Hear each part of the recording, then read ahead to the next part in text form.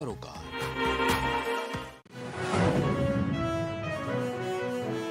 गोंडा में ट्रैक्टर की चपेट में आने से युवक की मौत, मौके पर पहुँची पुलिस ने शव को कब्जे में लेकर शुरू की कार्रवाई।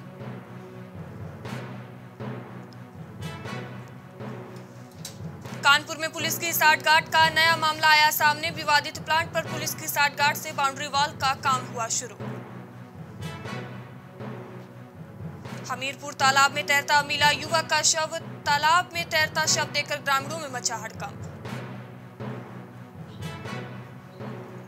डोनाल्ड ट्रंप पर मेहरबान हुए एलन मस्क। पूर्व अमेरिकी राष्ट्रपति का ट्विटर अकाउंट किया बहाल।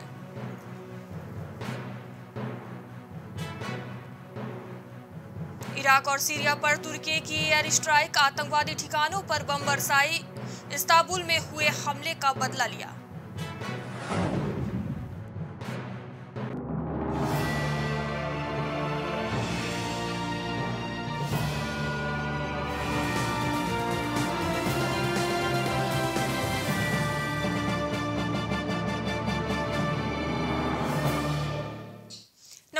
मैं हूँ मयूरी श्रीवास्तव, आप देख रहे हैं प्राइम टीवी। वक्त हो गया उत्तर प्रदेश की बड़ी खबरों का। लखनऊ में सूबे के मुखिया योगी आदित्यनाथ ने 350 स्टाफ नर्स को नियुक्ति पत्र का वितरण किया। इस कार्यक्रम में डिप्टी सीएम ब्रजेश पाठक भी मौजूद रहे।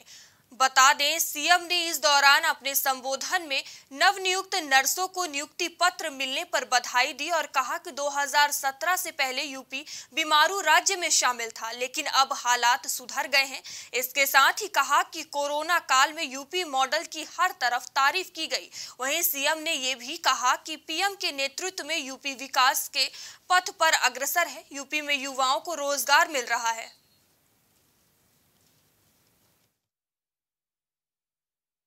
हमें हॉस्पिटल का माहौल, बीमारी का माहौल न देकर के एक स्वस्थ माहौल को बनाए रखने में हमें वहाँ पर स्वयं भी प्रयास करने चाहिए।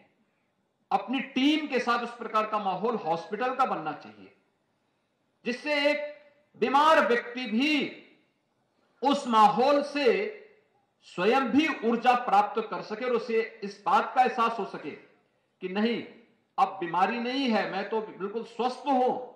और मुझे लगता है आपका हुआ व्यवहार, आपके कैरियर के लिए और आपको उससे मिलने वाली संतुष्टि से आपको बहुत लाभान्वित करेगा।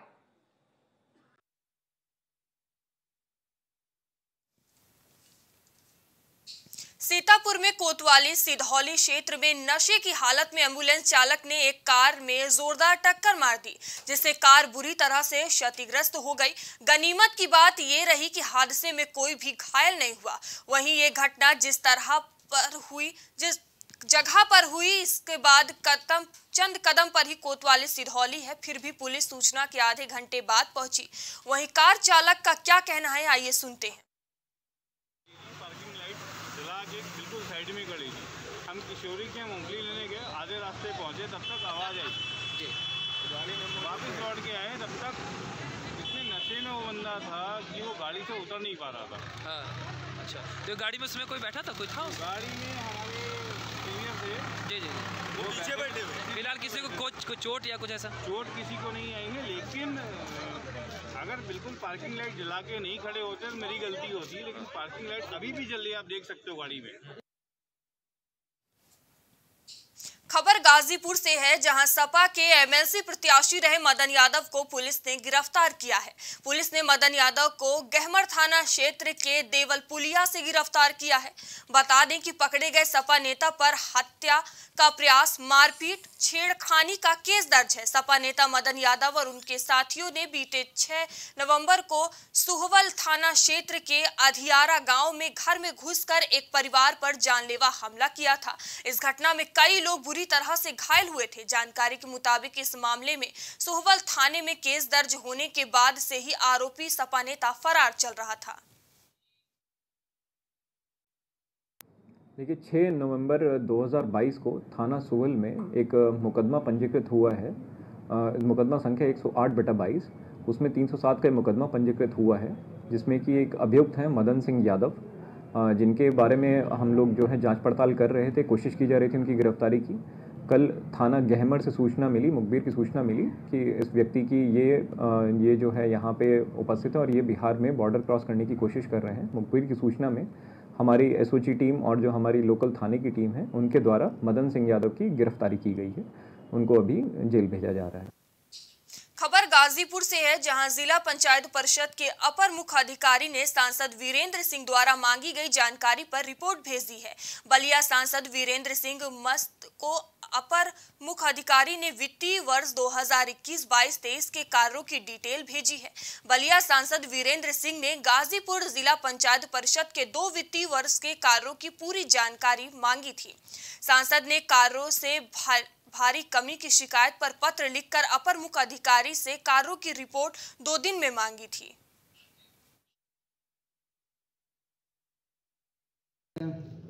माननीय सांसद जी का पत्र हमारे ऑफिशियल मेल पे जिला पंचायत के 15 ग्यारह 2022 का है, जिसमें माननीय सांसद जी ने वित्तीय वर्ष 21 बाईस और 22 तेईस के कार्यों की सूची मांगे हैं। तो यह पहले भी 14 जुलाई को माननीय सांसद जी का एक लेटर आया था 14 सात 2022 को उसके क्रम में हमने लेटर भेजा है बाई उनके मेल पे, मानी सांसद जी के, जो पत्र में लिखा गया था मेल पे उपलब्ध कराने के लिए।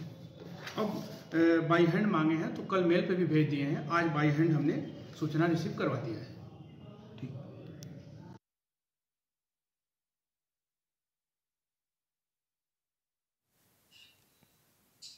औरैया में डेंगू वायरल फिर से लगातार बढ़ता जा रहा है। बता दें कि ज़िले में आठ नए मरीज़ डेंगू के मिले हैं, जिसके बाद जनपद में डेंगू के मरीजों का आंकड़ा तिहत्तर पहुँच गया है। जानकारी के मुताबिक चकसत्तापुर झावरा बनसई चौकी रुदौली से डेंगू संक्रमित मरीज़ मिले हैं। डेंगू संक्रमित चार मरीजों का अस्पताल के डेडिकेटेड वार्ड में छह डॉक्टरों की निगरानी में इलाज चल रहा है। वहीं ज़िले के 10 अस्पतालों में 1100 से अधिक मरीज़ वायरल बुखार के साथ जुखाम, पेट दर्द का इलाज कराने पहुँचे।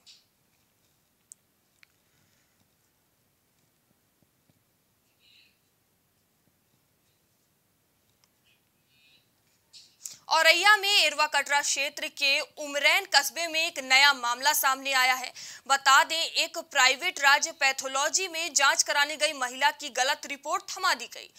जबकि महिला के परिजनों ने दोबारा जाँच करने की बात कही तो पैथोलॉजी संचालक परिजनों पर भड़क गए। इतना ही नहीं, परिजनों पर एक बार फिर से जाँच के पैसे लेते हुए जाँच कराई गई। महिला के प्लेटलेट्स दो लाख तीस हज़ार निक, निकली जिसके बाद परिजनों ने मामले की शिकायत सीएससी अधीक्षक से की जिस पर सीएससी अधीक्षक ने कार्रवाई का आश्वासन दिया है। राज में आया था रिपोर्ट जाँच कराने सुबह। तो यहाँ पे किस जगह राज पैथोलॉजी? उमरैन उमरैन डिस्ट्रिक्ट औरैया में यहाँ पे जाँच कराने आया था। यहाँ पे इन्होंने जाँच करके दी। पच्चीस हज़ार प्लेटें बताई हैं। तो मैं इसके बाद घर गया, अपने भाई को लेके आया। तो उन्होंने यहाँ मैंने आके उनसे बोला कि रिपोर्ट दोबारा जाँच कर दो। तो ये बोले कि नहीं, वो रिपोर्ट ठीक है, आप मेरे साथ लखनऊ चलो। मैंने कहा, मैं इस रिपोर्ट से संतुष्ट नहीं आप जाँच दोबारा करो। बोले, नहीं, पैसे पूरे लगेंगे तो जाँच दोबारा करूँगा, नहीं तो नहीं करूँगा। तो मैंने कहा, ठीक है, सर, मैं पैसे दूँगा, आप जाँच कीजिए। तो मैंने जब दोबारा जाँच की तो वही प्लेटें दो लाख पचहत्तर हज़ार निकली। देखिए जी आपके चैनल के माध्यम से और जो आपके द्वारा रिपोर्ट पत्र में दिखाए गए, उसके माध्यम से मुझे पता चला कि राज पैथोलॉजी जो उमरैन में संचालित की जा रही है, उसमें रिपोर्ट्स को लेके कुछ गड़बड़ी आई है सामने, उसकी हम विस्तृत जाँच करेंगे और जाँच में जो भी दोषी पाया जाएगा, उसके ऊपर कड़ी कार्रवाई करेंगे।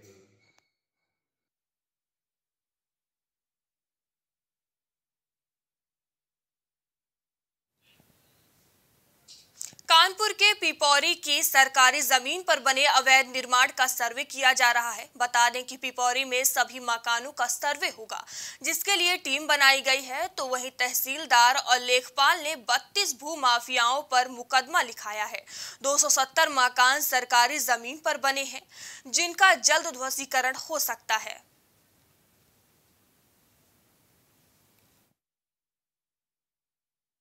योगी राज टू पॉइंट ज़ीरो सरकार बनने के बाद देखा जाए तो कहीं ना कहीं भू माफियाओं के खिलाफ और सरकारी जमीनों के खिलाफ लगातार जो है विभाग पूरी तरीके से सक्रिय है। और बात रही कानपुर की, देखा जाए तो कहीं ना कहीं मर्दनपुर इलाका क्षेत्र में जो पिपौरी गाँव पड़ता है, वहाँ पर जो बासठ बीघा ज़मीन जो है पूरी तरीके से चिन्हित कर ली गई है। और इस जो ज़मीन है, इस पर कानपुर विकास प्राधिकरण और नगर निगम की टीम और कार, कार्यपालिका की टीम और नगर पालिका की टीम जो है पूरी तरीके से जो चिन्हित कर ली है जमीनों की। और देखा जाए कहीं ना कहीं चारा की जो ज़मीन है, उस पर जो देखा जाए तो सोमवार के दिन जो है बड़ी कार्रवाई होने वाली है।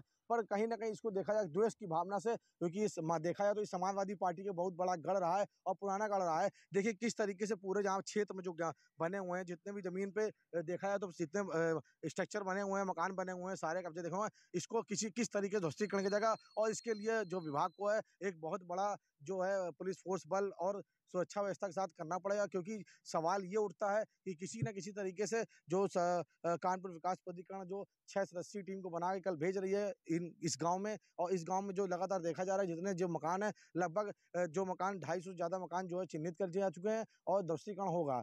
और देखा जाए, सवाल ये भी उठता है कि अभी कुछ समय पहले ही कानपुर विकास प्राधिकरण और लेखपाल के माध्यम से तो देखा जाए तो इसमें बत्तीस जो भूमाफिया थे उनके खिलाफ जो है मुकदमा पंजीकृत किया था, और उस पर भी कार्रवाई लगातार बिल्कुल जारी है पूरी तरीके से। कैमरा पर्सन शिव का साथ उपेंद्र साना कानपुर।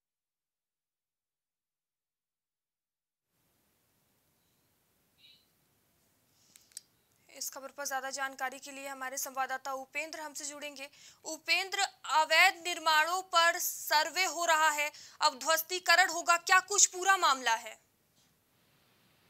देखा तो कहीं ना कहीं पर इस समाजवादी पार्टी के जो जमीनी जो संरक्षक हैं मुलायम सिंह यादव उनमें करीबी नेता चौधरी हरमोहन सिंह यादव का क्षेत्र लगता है ये और पूरा सपा का गढ़ पूरा ये और कहीं ना कहीं देखा था कानपुर विकास प्राधिकरण और कानपुर नगर निगम और नगर पालिका जो कि पूरी तरीके से दो सौ सत्तर से अधिक ज़्यादा मकान जो है उनको चिन्हित कर लिया गया है और ध्वस्तीकरण के आदेश अधिक है। लगभग जो बासठ बीघा ज़मीन जो चारा का निकल रहा है उसको देखते देखा जाए तो छह सदस्य टीम आज बनाई गई है जिसको लेकर कल जो है बासठ बीघा ज़मीन जो है उस पर दो सत्तर जो मकान बनाए हैं उस मकान के ध्वस्तीकरण के लिए के लिए भारी पुलिस बल की जो है और जितने भी प्लाट वहाँ बने हुए मकान बने हुए हैं उन सबको नोटिस जारी किया किया जा चुका पहले भी जगह हुआ और जिन भू माफियाओं ने लगभग इनमें से जो मकान बेचा है ज़मीन बेची है सरकारी ज़मीन बेची है उनमें तीस से ज़्यादा जो भू माफिया है उनके खिलाफ जो है मुकदमा पंजीकरण किया जा चुका है पहले भी और लगातार सख्त सख्त कार्रवाई की जा रही है। पर कहीं सवाल ये उठता है कि जब इससे पहले जब कभी कब्जा उठता, हो रहा था, तब प्रशासन, जिला प्रशासन या कानपुर विकास प्राधिकरण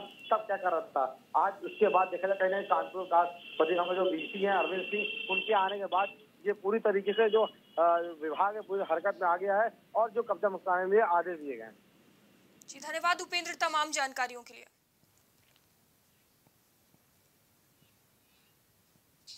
गाजियाबाद की राम प्रस्था ग्रीन सोसाइटी में एक मासूम बच्ची पर कुत्ते के झुंड ने हमला कर दिया। तो वहीं घटना सीसीटीवी कैमरे में कैद हो गई, जिसके बाद सोसाइटी में मौजूद सिक्योरिटी गार्ड ने कुत्तों को भगाया। बता दें कि एक बार फिर से आवारा कुत्तों का आतंक देखने को मिला है। वहीं ऐसी घटनाएँ रोकने का नाम नहीं ले रही हैं।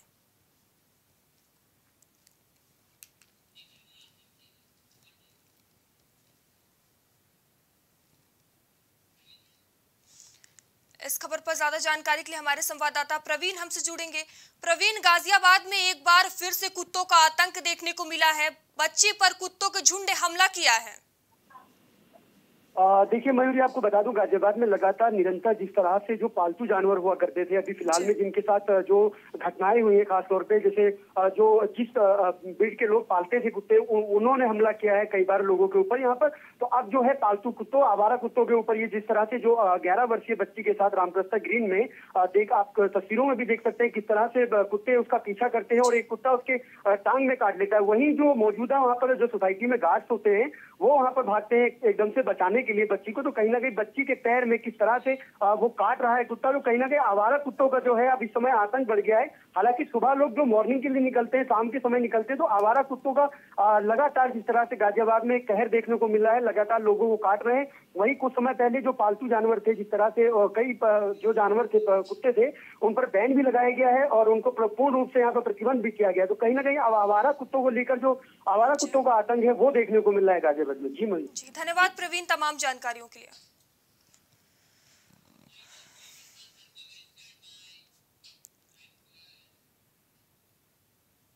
उत्तर प्रदेश की खबरों में इतना ही। देश दुनिया की तमाम खबरों के लिए देखते रहिए प्राइम टीवी